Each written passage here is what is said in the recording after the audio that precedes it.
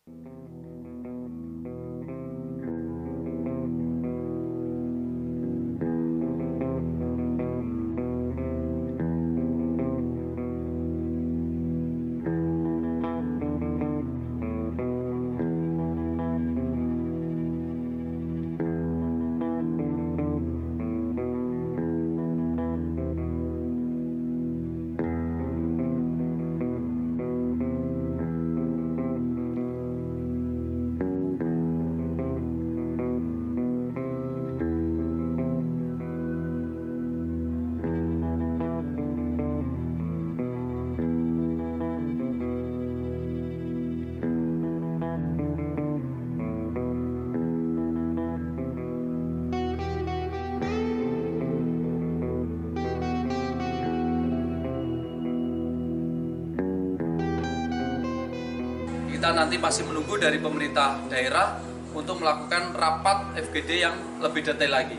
Dan mudah-mudahan e, karena wacana ini adalah usaha kita bersama sebetulnya. Kegiatannya adalah kegiatan yang harus kita lakukan bersama-sama bagaimana kemacetan di Jakarta betul-betul bisa kita atasi.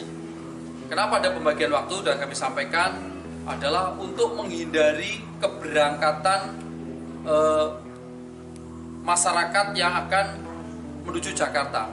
Perlu kami sampaikan bahwa penduduk Jakarta itu sudah sekitar 10 juta sendiri. Aktivitas masyarakat yang masuk kota Jakarta yang pada siang hari ada 3, 3 juta 300 sekian